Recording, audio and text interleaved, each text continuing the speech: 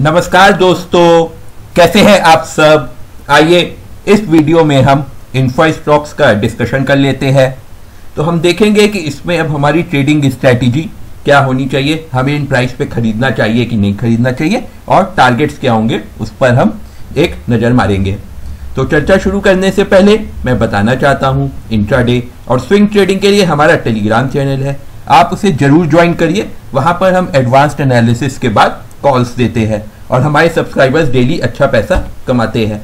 हम से भी रजिस्टर्ड नहीं है और हमारे वीडियोस एजुकेशनल पर्पस के लिए है। आप इन्वेस्टमेंट से पहले अपने एडवाइजर से ज़रूर कंसल्ट करिएगा। आइए दोस्तों, हम श्रीराम प्रॉपर्टीज़ की एक बार थोड़ी सी फंडामेंटल एनालिसिस कर लेते हैं। पी बाई बी इसका केवल 1.04 है तो यहाँ पे कोई दिक्कत नहीं इससे, लेकिन पता चलता है कि कंपनी की आप कह सकते हैं शेयर में अभी मार्केट में पॉजिटिविटी कम है। अगर मैं डेप्थ की बात करूँ, देखो दोस्तों तो 727 करोड़ का डेप्थ है 82 करोड़ का कैश है केवल। तो यहाँ पे कंपनी अगर के पास डेप्थ चुकाने की आप कह सकते हैं, अभी पोजीशन में नहीं है। मार्केट कैप 1400 करोड़ की है और डेप्थ है 727 करोड़। तो यहाँ पे बहुत आप कह सकते हैं कि बैलेंस शीट इनकी काफ़ी ज़्यादा कमज़ोर लग रही है। ऑल्टमैन जेड भी कह रहा है कि कंपनी सॉल्वेंसी की चांस काफ़ी है वेरी लाइकली है। पेट्रोस की स्कोर भी एवरेज है। तो ये सारी चीज़ दोस्तों, इस कंपनी को आप लॉन्ग टर्म के लिए तो बिल्कुल भी कंसिडर नहीं कर सकते हैं। इस चीज़ को आप लीजिए, क्योंकि कंपनी बर्बाद भी हो सकती है। रेवेन्यू भी देखिए, इसका पिछले तीन साल में कम हुआ है। हालाँकि उसमें कोविड का भी काफ़ी बड़ा रोल है। बट यहाँ पे भी आप देखिए मार्च 20 और 21 में ईपीएस इनका नेगेटिव जा रहा है। आरओई भी काफ़ी कम हो गया है।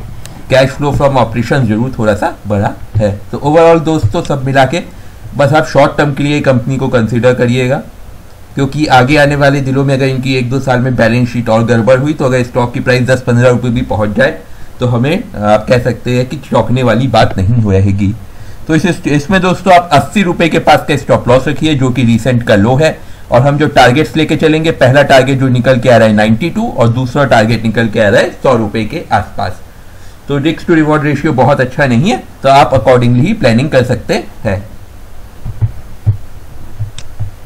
अब मैं एक बार पार्श्वनाथ डेवलपर्स को आइए देख देख लेते हैं कि इनकी कैसी, क्या कंडीशन चल रही है। तो यहाँ पे अगर मैं देखूँ दोस्तों, इनकी डेप्थ देखिए, इनके पास भी बहुत हाई डेप्थ है। मार्केट कैप हज़ार करोड़ की है टोटल डेप्थ तैतीस करोड़ की है। तो यहाँ पे देख लीजिए कंपनी की हालत एकदम बुरी है। तो इस टाइप की कंपनी में कभी भी लॉन्ग टर्म इन्वेस्टमेंट का हमें नहीं सोचना चाहिए। इनका एल्टमैन जेड इसको देखिए वेरी लाइकली ये भी कंपनी दिवालिया हो सकती है। ईपीएस e देखेंगे तो आप बहुत टाइम से नेगेटिव ही चल रहा है, कभी पॉजिटिव हुआ ही नहीं। रेवेन्यू बीच में बढ़ा था, फिर कोविड के बाद से फिर काफ़ी ज़्यादा डाउनफॉल है। आर e देखिए, पिछले साल कुछ ज़्यादा ही नेगेटिव हो गया था। कैश फ्लो बीच में थोड़ा सा बढ़ा था। दो साल फिर अभी थोड़ा सा काफ़ी कम हो गया तो ओवरऑल इस कंपनी को भी आप लॉन्ग टर्म के लिए नहीं कंसिडर कर सकते हैं। अगर मैं इसकी डिलीवरी की बात करूँ हालाँकि तो वो लास्ट ट्रेडिंग सेशन में काफ़ी अच्छी रही थी, करीब 46 परसेंट के आसपास, जो कि अच्छी बात है। अब आइए चार्ट्स पे देख लेते हैं इस कंपनी को। तो सबसे पहले मैं इसका मैक्स चार्ट देखना चाहूँगा कि कैसा क्या पिक्चर तो देखिए, यहाँ पे कंपनी एक टाइम ये कंपनी अच्छी कंपनी हुआ करती थी।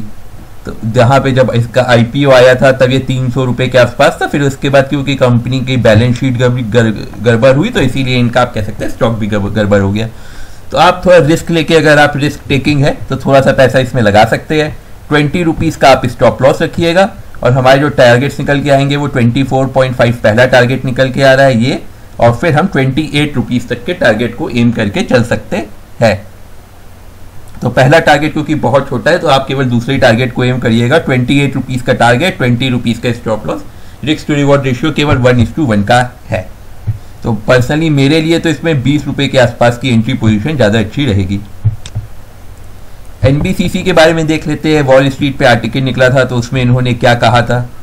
तो इसमें इन्होंने कहा था कि पीई e इसका देखें तो 29.5 है। पीआर एवरेज 18.8 है तो इनका पीई e थोड़ा हाई है हाई बीटा वाला स्टॉक है। तो यहाँ पे ये सारी चीज़ें हो गई।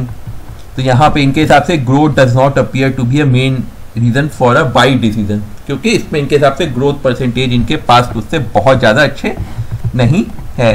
तो ये इनके हिसाब से कोई बहुत ज़्यादा स्ट्रॉन्ग शेयर नहीं है एनबीसीसी आप केवल स्विंग ट्रेडिंग के लिए इसको कंसिडर करिएगा, ना कि लॉन्ग टर्म के लिए। रिसेंट में दोस्तों एनबीसीसी को काफ़ी वर्क ऑर्डर्स मिले हैं, दो तीन सौ थ्री नाइन्टी टू करोड़ के अलग अलग जगहों से। यूनिवर्सिटी ऑफ़ दिल्ली से मिला है, और यहाँ building from institution of eminence at Maurice Nagar है, अठारह सौ स्क्वायर किलोमीटर एक सौ चौवालीस करोड़ का एक ऑर्डर इनको नेशनल हेल्थ मिशन लखनऊ से मिला है। तो ये सारी चीज़ें। आइए अब एक बार हम इसको भी देख लेते हैं, कैसी लग रही है ये कंपनी तो यहाँ पे देखिए कंपनी की अच्छी बात क्या है? डेप्थ ज़ीरो है। कैश कंपनी के पास 5700 करोड़ का कैश रखा हुआ है। तो कंपनी में ऐसे लिक्विडिटी भी हाई है। तो ये सब कोई दिक्कत नहीं है। उस, लेकिन यहाँ पे ऑल्टमैन जेड स्कोर भी हमारा बता रहा है कि 1.26 है। कंपनी की क्योंकि बैलेंस शीट और सब कुछ ये लोग बहुत कुछ देखते हैं। तो ये एक थोड़ी सी चिंता वाली बात है। पेट्रोस की स्कोर इनका अच्छा है। ये चीज़ अच्छी है। आइए अब एक बार हम इनका रेवेन्यू देख ले। रेवेन्यू में ना ज़्यादा गिरावट है, ना बढ़ोतरी है। ईपीएस बीच में कोविड के टाइम बहुत गिर गया था बट फिर से अभी रिकवर हो रहा है। आर देखिए, इनका ठीक ठाक है। अट्ठारह बीस परसेंट सही माना जाता है। कैश फ्लो अभी काफ़ी गिरा हुआ है। तो इन सारी चीज़ों को देखते हुए ठीक ठाक कंपनी लग रही है। अच्छी बात है कि डेप्थ फ्री कंपनी है तो उतना बड़ा इशू नहीं है। आप अगर यहाँ पे देखेंगे तो 44 परसेंट की इनकी डिलीवरी रही है लास्ट टाइम तो इस कंपनी का एक बार मैं मैक्स देखना चाहूँगा। ऑल टाइम हाई देखिए, इस कंपनी का एक बार एक रुपए के आसपास भी था, फिर अभी पैंतालीस, छियालीस रुपए के पास चल रहा है। तो इस कंपनी में दोस्तों, अब आप अगर ट्रेडिंग करते हैं तो आपको क्या करना चाहिए? यहाँ पे मैं एक ट्रेंड लाइन बनाता हूँ पहले। तो यहाँ पे आप देखेंगे दोस्तों, ये वाली जो ट्रेंड लाइन है, ये एकदम एक रेजिस्टेंस जोन पे है। तो इस पे या तो ये एक दो रुपए और बढ़ जाए, आप तब पोजीशन बनाइएगा। वरना इसका जो पोजीशन बनाने का दोस्तों, बढ़िया टाइम रहेगा, वो करीब यहाँ पे रहेगा। ये फोर्टी फोर्टी टू रुपीज़ अच्छी प्राइस रहेगी, क्योंकि तब आप थर्टी एट या थर्टी नाइन रुपीज़ का आप स्टॉप लॉस लगा के इसमें पोजीशन बना सकते हैं फोर्टी सिक्स फिफ्टी और फिफ्टी सिक्स के टारगेट्स के लिए। अभी आप अगर पोजीशन बनाते हैं दोस्तों तो स्टॉप लॉस आपको रखना पड़ेगा। स्टॉप लॉस हमको यहीं रखना पड़ेगा थर्टी नाइन के पास का। और हमारे जो टारगेट्स रहेंगे वो 50 और 56 के टारगेट्स रहेंगे। तो रिस्क टू रिवॉर्ड रेशियो हमारे फेवर में नहीं रहेगा। तो ये थी दोस्तों मेरी एनालिसिस उम्मीद है आप तो, आपको वीडियो पसंद आया होगा। आप हमें लाइक एंड सब्सक्राइब कीजिए हमारा मोटिवेशन बढ़ेगा। साथ ही आप हमें सोशल मीडिया पे फॉलो करिए। ट्रेडिंग बुल्स के हमारे टेलीग्राम चैनल को ज़रूर ज्वाइन करिएगा। काफ़ी फ़ायदा होगा आपको। धन्यवाद दोस्तों, अपने विचारों को कमेंट सेक्शन में लिखिए, हम जल्द से जल्द उस पर रिप्लाई करेंगे। आपका दिन शुभ हो।